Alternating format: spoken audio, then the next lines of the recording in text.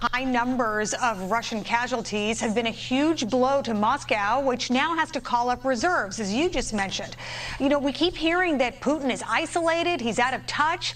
Do you think he knows the truth of what is going on, or do you think he has people around him telling him that everything's going great?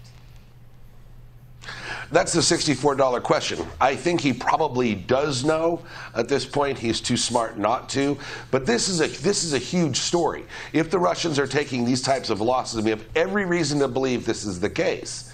Uh, this has huge implications for Russian society because for every child that doesn't come home, those are parents that are talking. The internet is not shut down in Russia. People still talk on the phone.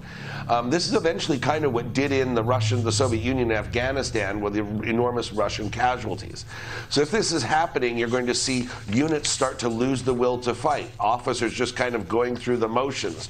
Nobody really wanting to engage, and everybody just trying to play it